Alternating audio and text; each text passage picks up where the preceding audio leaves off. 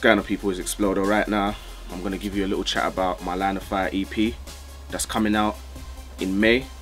So make sure you support, you download that. It's going to be on iTunes as well, so make sure you buy that as well. So even though it's going to be out for free, yes free, I'm going to put it on iTunes as well so, to also gather your people, to gather support basically.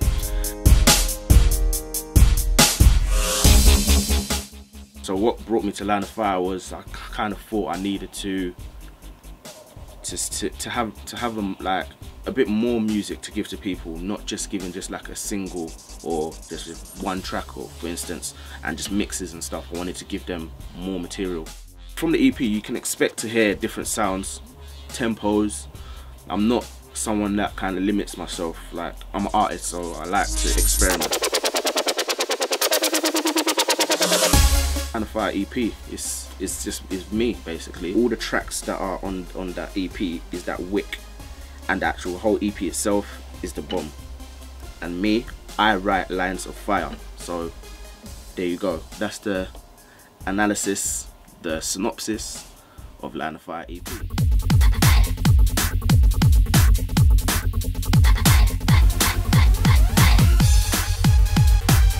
Nah, boy, we just come down making sure that we touch down on this so nice track because obviously style is nice with it. As the, what the US guys would say, nice. nice. We nice. We nice, so man. We're nice with it, obviously. so we'll come down. We, we nice. Down. We nice, dog. Nah, I mean, 16s quickly. Quickly.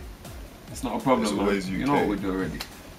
UK to the world and beyond. I've showed you like behind the scenes of me basically recording in studio and getting the work done, collaborating with other artists, which is important. Like obviously being an independent, being a solo artist, like it's good to work with other people, see where their minds are at, see you, you, you can always just bring something new to the table and you know just develop yourself as an artist.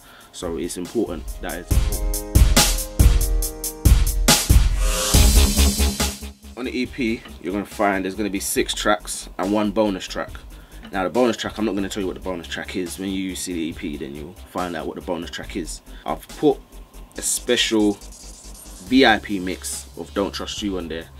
Just for people that know me from before and are aware of what I've done before, just to get insight of what I've come from and to where it is now. So that's a special thing for you, supporters.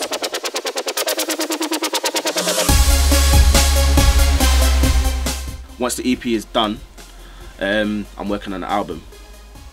Album, hopefully, should be ready by end of 2011, ready to launch in 2012.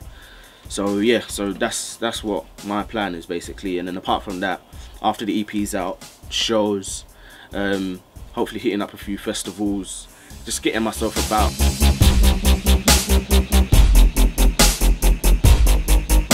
So right now make sure you go and get the Line of Fire EP which is out in May support that make sure you go on my website www.xplodermusic.com and it's Xploder without the E just an X as you can see just an X. So um, yeah make sure you support and I'm gonna just keep on putting out music making sure it's music of quality and just keep pushing myself pushing the boundaries. And yeah i'm excited. So i'm happy where it's getting to at the moment and i'm happy with the support that i'm getting. So thank you to everyone that supported me so far. Also look out for my first single from the ep coming out that's going to be out for promo and all the things you said. Thank you to everyone that supported me so far. The journey's just begun and we're to keep on going and going and going and going. Thank you for tuning in Xploder. Over and out